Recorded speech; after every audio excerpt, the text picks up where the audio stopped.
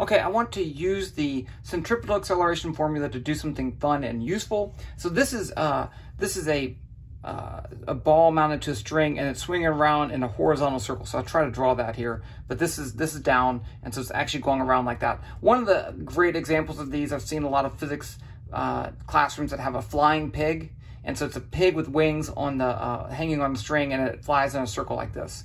Uh, so we have a couple of things. We have the angle that it makes with the, the vertical. We have the length of the string. We have the velocity and the mass. Okay, so let's see what kind of relationship we can get here. So the first thing I want to do is to look at this instant right here and draw a force diagram. So what is acting on this mass? I have the gravitational force that's down, mg, and then I have the tension in the string. So remember, the tension is a constraint force, so it can only pull in the direction that the string is, and we don't know the magnitude. It could be literally anything. So other than that, I'm going to pick this as my x-axis. Those are my only two forces. That's my x-axis, and that's my y-axis. Okay. So now just a little geometry here. If I draw this line right here, these two lines are parallel, and so I have a line intersecting parallel lines, so this is also theta. Okay. So now, now I'm all, I'm all set. Um, okay, so first let's do the, uh, use the force law. So we say F net equals MA. So that's not that useful. Instead, I'd like to break that into two pieces. F net X equals MAX. F net Y equals MAY. Now, one of these is zero, okay? Not both of them, one of them. Now, this is the important part. If I pick my coordinate system such that the acceleration is in just one direction, I'm going to make my life happy, okay? So in this case, if this is moving around in a circle, it's not accelerating up or down because it's, it's staying in that flat plane. And it is accelerating in the x direction because that's towards the center of the circle. So in this case, the y acceleration is zero and the x acceleration is centripetal acceleration. So let's look at the y first. So what forces do we have in the y direction? I know this is equal to zero, right? And so what forces do I have? Well, I have part of the tension right there. And you'll see here that this is the adjacent side of that triangle. So if I have the adjacent side of the triangle to find the y component, this would be t cosine theta because cosine is adjacent over hypotenuse. And then I have the gravitational force in the negative y direction. I put zero in there twice.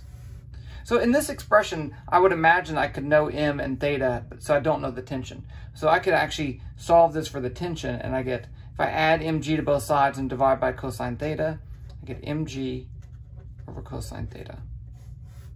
Okay, now let's look at the y direction. Uh, I mean the x direction. One of the things here that I'm to need is the radius. The radius of the circle. So if I look at this big triangle right here, this is some length L.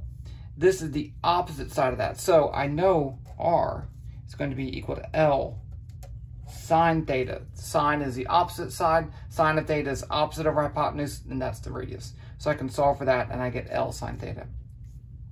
Now, what forces are acting in the x direction? It's just this other component of the tension, which is going to be t sine theta. So I get t sine theta equals m times the acceleration, which is going to be v squared over r.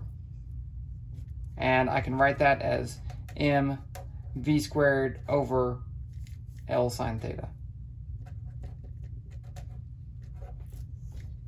Now, what do you want to solve for here? Really, we have we have two things we could consider. First of all, the mass cancels. That's kind of cool. Nope, that doesn't cancel.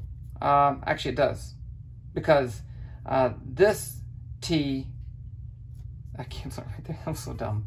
Okay, so let's put in this T over there because I don't really care about the tension. So now I get mg uh, sine theta over cosine theta equals m v squared over L sine theta. So now what I want to solve for, let's say how fast I need to go at that angle. But one of the things you can see is that there is a relationship between the angle and the, um, the velocity. Okay, uh, let's just solve for that. So I'm going to solve this for v squared. The mass here does cancel. So I get v squared equals L sine squared theta over cosine theta times g. Now, does that even make sense? Okay, uh, so this is going to have no units right here. This is meters per second squared times meters, so I get meters squared per second squared, so that is velocity. So that is a good relationship between those two things. As I increase the angle theta, you actually have to go faster. Okay, so you can try plugging some numbers in there. Um, because uh, what would happen is that the tension, if, if I increase the angle up here, so the tension would be going like this. Now I need a much larger magnitude of tension in order to keep this thing uh, from falling down. Uh, and more component of that pushing in the x direction. So I'm going to have a very, very, very large force in the x direction that causes centripetal acceleration. So uh, increasing theta makes this thing go faster. But I think I'm going to end there. I know I didn't solve for a particular value. I derived a general expression. Uh, but from this, I think you can, you get a lot of problems like this. I think from this, you could solve any number of interesting problems.